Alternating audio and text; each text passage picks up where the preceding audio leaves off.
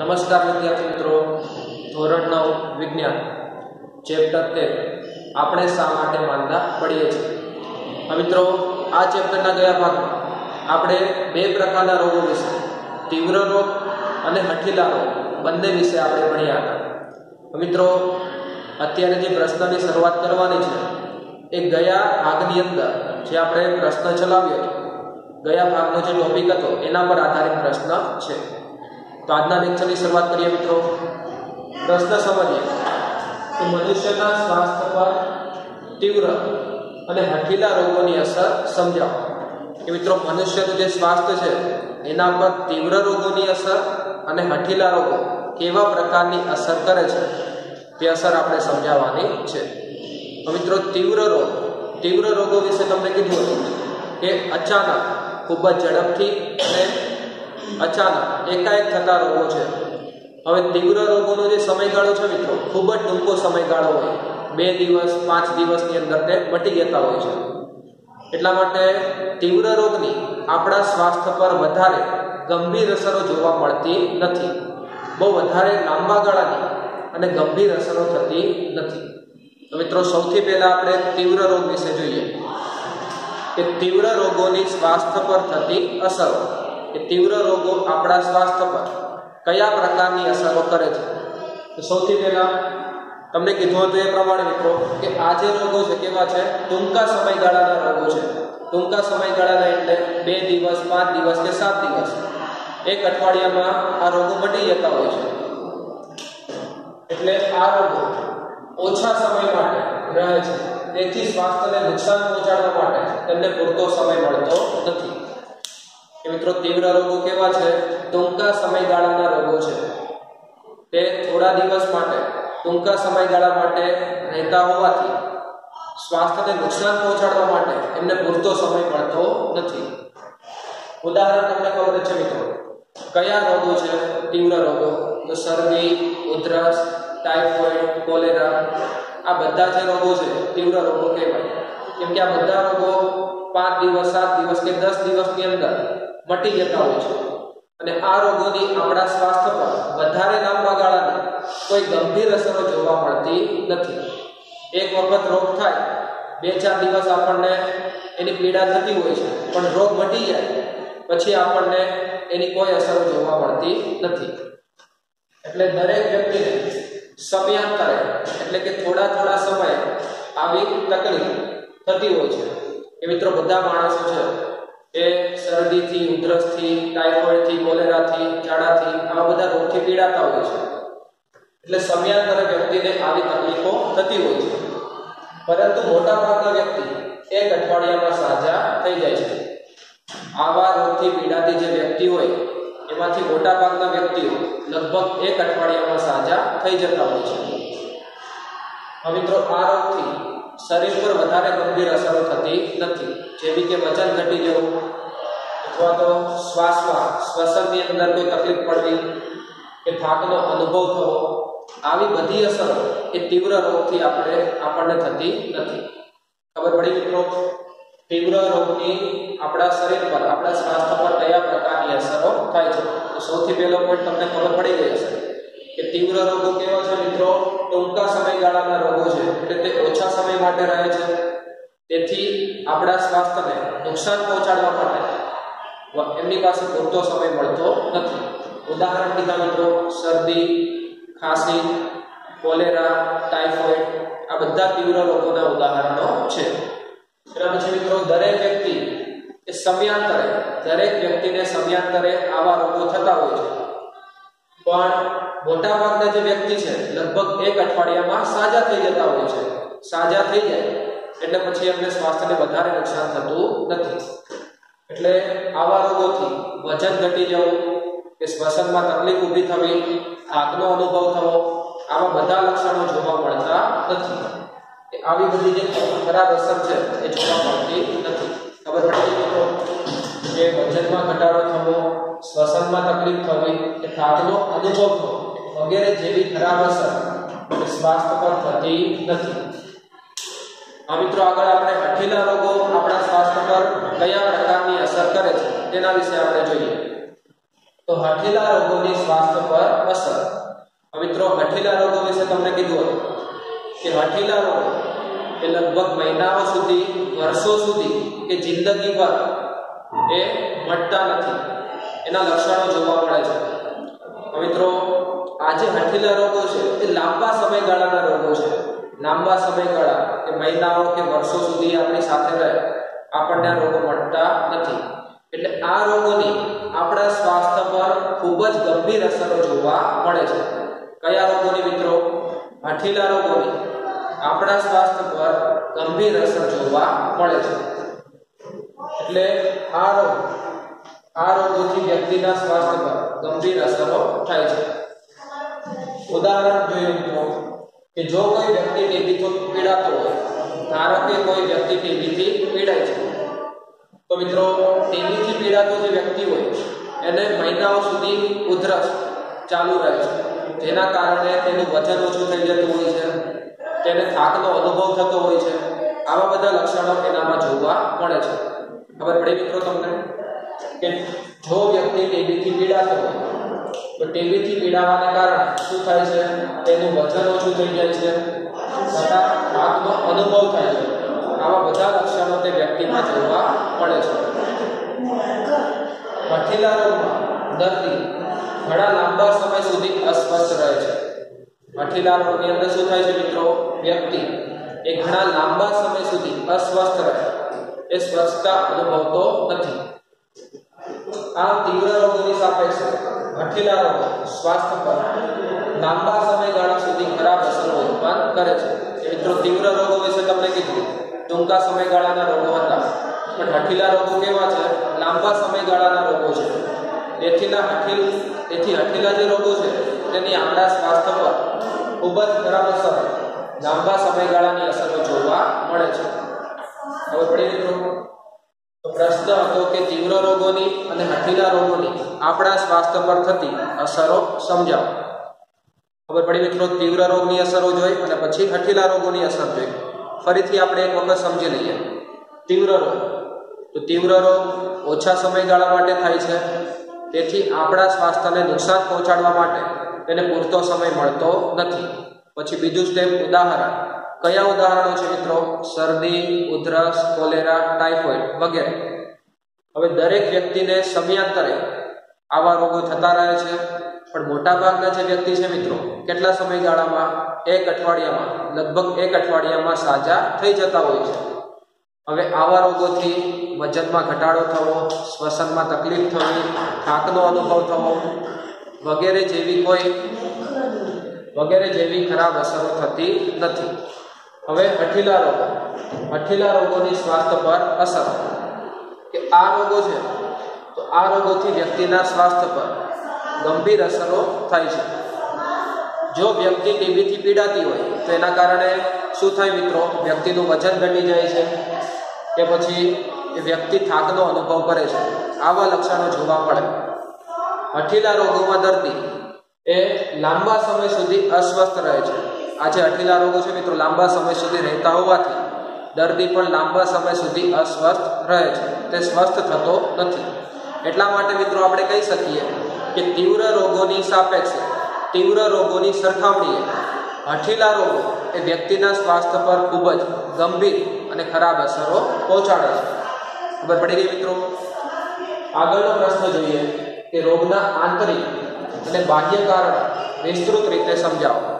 કે રોગ થવા માટેના મિત્રો આંતરિક કારણો કયા છે અને બાહ્ય કારણો કયા છે તે આપણે સમજાવવાનું છે.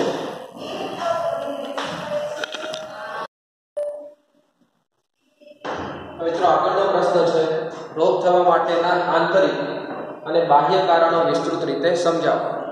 આંતરિક લક્ષણો કયા છે, આંતરિક કારણો કયા છે અને બાહ્ય કારણો કયા છે? સૌથી પહેલા મિત્રો આપણે આંતરિક કારણો વિશે જોઈએ. તો મિત્રો, આપણા શરીરના કેટલાક અંગો છે. હૃદય હોય, મૂત્રપિંડ હોય, આપણા ફેફસા હોય કે બીજા કોઈ પણ અંગો હોય, એ અંગોના કાર્યમાં કોઈ પણ પ્રકારની ખલેલ પહોંચે. ત્યારે પણ રોગ ઉત્પન્ન થઈ શકે છે. હૃદય છે, હૃદયની અંદર મિત્રો, ધારો કે કોઈ કારણસર કોઈ તકલીફ થાય, તો હાર્ટ એટેક આવવાની શક્યતા રહેતી હોય છે.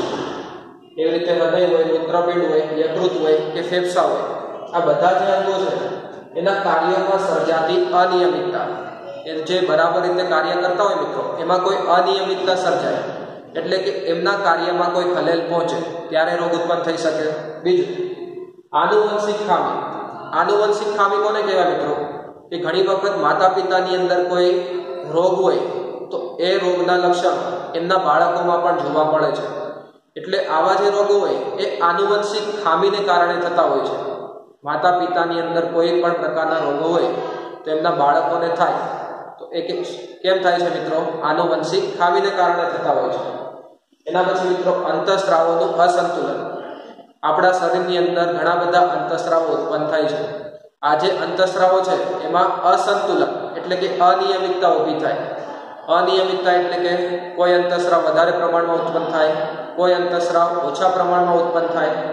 તો એના કારણે પણ રોગ થઈ શકે છે. તમને ખબર છે મિત્રો ઇન્સ્યુલિન નામનો જે અંતસ્રાવ છે, ઓછા પ્રમાણમાં ઉત્પન્ન થાય તો આપણને ડાયાબિટીસ થાય છે.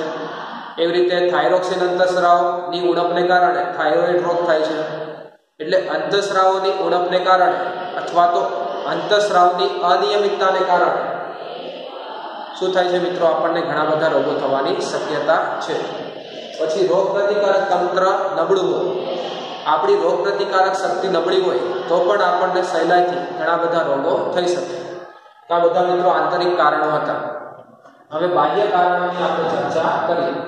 બાહ્ય કારણ એટલે બહારથી કેટલાક રોગકારક સૂક્ષ્મજીવો શરીરની અંદર પ્રવેશે અથવા તો બીજા એવા કોઈ કારણ. સૌથી પહેલા છે મિત્રો કે કેટલા રોગો બહારથી શરીરમાં પ્રવેશ કરતા ઘટકોને કારણે થાય છે. કેટલાક રોગો શેના કારણે થાય છે મિત્રો? બહારથી કેટલાક ઘટકો આપણા શરીરની અંદર પ્રવેશ કરે છે. તેના કારણે આપણને રોગો થતા હોય છે. તો મિત્રો, સૌથી પહેલા તો આજે રોગકારક સજીવો છે. કયા કયા રોગકારક સજીવો તમને ખબર છે? વાયરસ હોય, બેક્ટેરિયા હોય, ફૂગ, પ્રજીવ, કૃમિ, આ બધા છે. આપણા શરીરની અંદર દાખલ થાય ત્યારે આપણને ઘણા બધા રોગો થતા હોય છે. કોલેરા ટાઇફોઇડ કે પછી કમળો આવા બધા જે રોગો છે, આવા સૂક્ષ્મજીવોને કારણે થતા હોય છે. કે રોગકારક સજીવો વાયરસ હોય બેક્ટેરિયા હોય, ફૂગ પ્રજીવ કે કૃમિ, આ બધાનો શરીરમાં પ્રવેશ થવાને કારણે આપણને રોગો થતા હોય છે. એના પછી મિત્રો અસમતોલ આહાર કે અપૂરતા પોષક દ્રવ્યોને કારણે. આપણે પૂરતા પ્રમાણમાં પોષક દ્રવ્યો ન લઈએ, પૂરતો સમતોલ આહાર ન લઈએ, તો અપૂરતા પોષક દ્રવ્યોને કારણે પણ આપણને રોગો થઈ શકે છે. આપણે મિત્રો, કાર્બોદિત પ્રોટીન, ચરબી, વિટામિન, ખનિજ, આ બધાની જરૂર પડે છે. હવે આપણે એક જ પ્રકારનો આહાર લઈએ અને વિવિધ પ્રકારનો આહાર કે જેમાંથી બધા પોષક તત્વો પૂરતા પ્રમાણમાં ન મળે તેવો આહાર લઈએ તો પણ આપણને રોગો થઈ શકે છે. અને છેલ્લું કીધું મિત્રો, દારૂ, તમાકુ કે નશાકારક દ્રવ્યને કારણે. તમને ખબર હશે મિત્રો કે વધારે પડતું દારૂ કે તમાકુનું સેવન કરવાથી કેન્સર થઈ શકે, મોઢાનું કેન્સર થતું હોય છે, અથવા તો બીજા કેટલાક રોગો પણ થઈ શકતા હોય છે. સિગરેટ પીતા જે વ્યક્તિ હોય મિત્રો, એમને ફેફસાની તકલીફ પણ થતી હોય છે. એટલે દારૂ તમાકુ કે બીજા જે નશાકારક દ્રવ્યો છે, એમના કારણે પણ રોગ થઈ શકે. આ બધા જે કારણો હતા, એ બાહ્ય કારણો છે. હવે પડી મિત્રો? કે રોગ થવા માટેના આંતરિક કારણો અને બાહ્ય કારણો. ફરીથી આપણે એક વખત સમજી લઈએ. આંતરિક કારણો. આંતરિક કારણોની અંદર મિત્રો, શરીરના કોઈ અંગો હોય, એમાં કોઈ ખામી સર્જાવાને કારણે. શરીરની અંદર ખામી સર્જાય. તો આપણા ઘણા બધા અંગો છે મિત્રો. હૃદય, મૂત્રપિંડ, ફેફસા યકૃત આ બધાના જે કાર્ય હોય, એ કાર્યમાં કોઈ પણ પ્રકારની ખલેલ પહોંચે. એના કાર્યમાં સર્જાતી અનિયમિતતાને કારણે. એના પછી મિત્રો કીધું આનુવંશિક ખામીને કારણે કે માતા પિતાની અંદર જે રોગો હોય, એના બાળકોમાં પણ રોગ થવાની શક્યતા રહેતી હોય છે. પછી અંતસ્રાવનું અનિયમિત અંતઃસ્રાવ મિત્રો આપણા શરીરની અંદર ઉત્પન્ન થાય છે. એના અનિયમિત, અનિયમિતતાને કારણે. એટલે અંતઃસ્રાવ વધારે પ્રમાણમાં ઉત્પન્ન થતા હોય અથવા અંતઃસ્રાવ ઓછા પ્રમાણમાં ઉત્પન્ન થતા હોય, તો એના કારણે પણ આંતરિક આપણને રોગ થવાની શક્યતા છે. એના પછી મિત્રો રોગ પ્રતિકારક શક્તિ નબળી હોવી. કોઈ પણ રોગ સામે લડવા માટે આપણું રોગ પ્રતિકારક તંત્ર છે, તે કાર્યક્ષમ હોવું જરૂરી છે.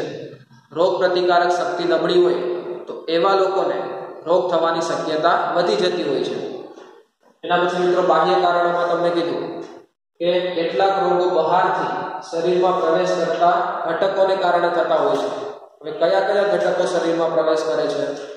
તો વાયરસ, બેક્ટેરિયા, ફૂગ, કૃમિ, પ્રજીવ આ બધા જે રોગકારકો છે મિત્રો, એ શરીરમાં પ્રવેશ કરે ત્યારે આપણને રોગો થતા હોય છે.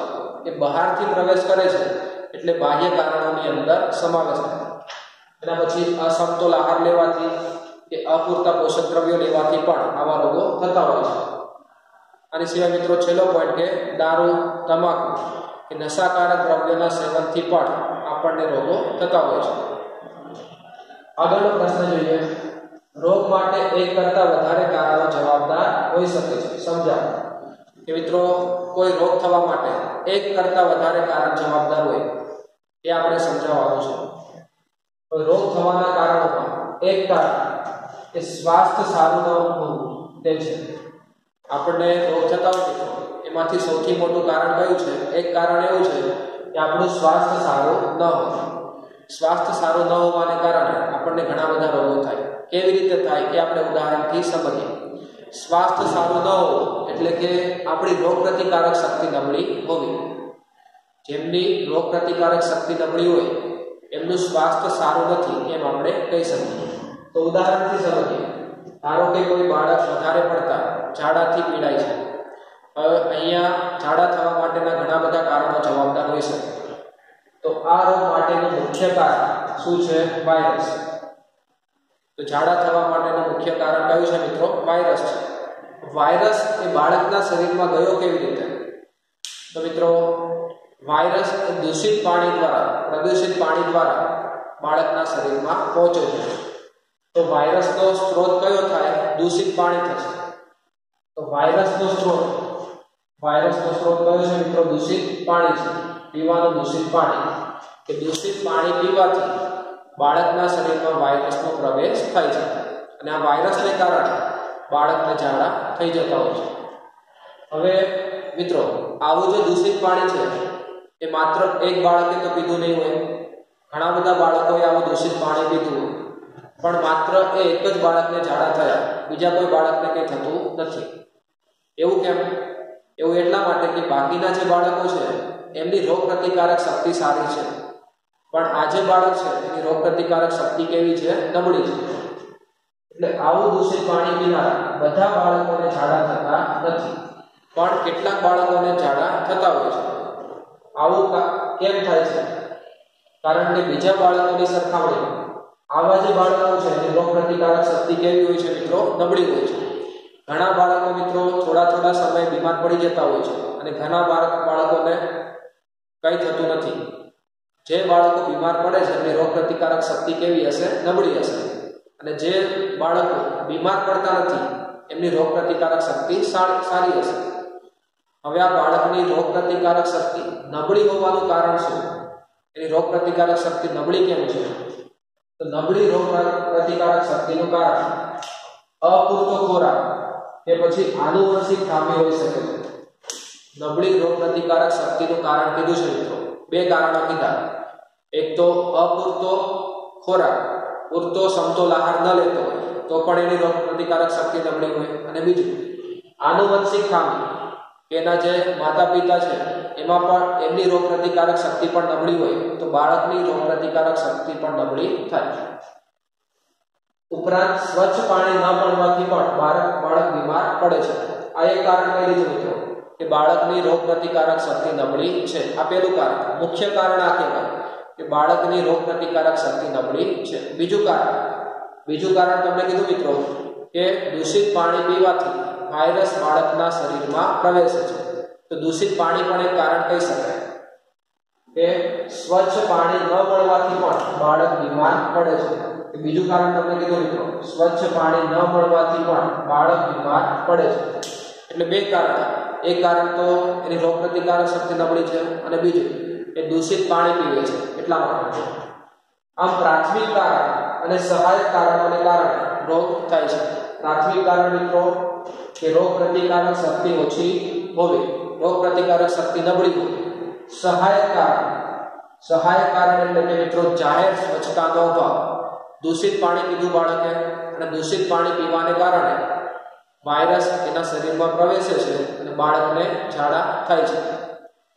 એટલે પ્રાથમિક કારણ અને સહાયક કારણોને કારણે રોગ થતા હોય છે. તેથી રોગ થવા માટે એક કરતાં વધારે કારણ જવાબદાર હોય છે. એ રોગ થવા માટે મિત્રો અહીંયા બે કારણો કીધા રોગ પ્રતિકારક શક્તિ નબળી હોવી અને બીજું કે બાળકે દૂષિત પાણી પીધું. એટલે જાહેર સ્વચ્છતાનો અભાવ એટલે રોગ થવા માટે એક કરતાં વધારે કારણ જવાબદાર હોય છે, એવું આપણે કહી શકીએ. ખબર પડે મિત્રો? ફરીથી આપણે પ્રશ્ન સમજી લઈએ કે રોગ થવા માટે એક કરતાં વધારે કારણ જવાબદાર હોય છે. સમજાવો. સૌથી પહેલું કીધું મિત્રો કે રોગ થવાના કારણોમાં સૌથી મુખ્ય કારણ કયું છે? એક કારણ એવું પણ છે કે આપણું સ્વાસ્થ્ય ખરાબ એક કારણ છે ઉદાહરણ કીધું મિત્રો, ધારો કે કોઈ બાળકે વધારે પડતા ઝાડાથી પીડાય છે. હવે ઝાડા થવા માટેનું કારણ શું? તો આ રોગનું મુખ્ય કારણ શું છે મિત્રો? વાયરસ છે. વાયરસ એના શરીરમાં પ્રવેશ્યો કેવી રીતે? તો દૂષિત પાણી પીવાથી વાયરસ બાળકના શરીરમાં પ્રવેશે છે. એટલે મિત્રો આપણે કહી શકીએ કે વાયરસનો સ્ત્રોત એ પીવાનું દૂષિત પાણી છે. દૂષિત પાણીને લીધે વાયરસ બાળકના શરીરમાં પ્રવેશે છે. પરંતુ આવું દૂષિત પાણી પીવાથી માત્ર એ એક બાળકને ઝાડા થઈ જાય. બાકીના બાળકોને કંઈ થતું નથી. એટલે આપણે કહી શકીએ કે બીજા બાળકોની સરખામણીમાં કેટલાક બાળકો છે, એની રોગ પ્રતિકારક શક્તિ કેવી હોય છે? નબળી હોય છે. જેથી તેમનામાં રોગનું જોખમ વધારે જોવા મળે. હવે રોગ પ્રતિકારક શક્તિ નબળી હોવાનું કારણ કીધું કે બે કારણો છે. એક તો અપૂરતું પોષણ લેવાને કારણે અને બીજું આનુવંશિક ખામીને કારણે. એટલે એ કારણો કહી શકાય. ઉપરાંત સ્વચ્છ પાણી ન મળવાથી પણ, એટલે કે બાળકે ગંદુ પાણી પીધું હતું, એના કારણે પણ બાળક બીમાર પડે છે. આમ પ્રાથમિક કારણ અને સહાયક કારણ ને કારણે ચેપી રોગ થવાની શક્યતા છે. તેથી રોગ થવા માટે એક કરતાં વધારે કારણ જવાબદાર હોઈ શકે તેમ આપણે કહી શકીએ. ખબર પડી મિત્રો? તો આજના લેક્ચરમાં આપણે અહીંયા સુધી રાખીએ. બાકીના પ્રશ્નો આપણે આગળના લેક્ચરમાં સમજીશું.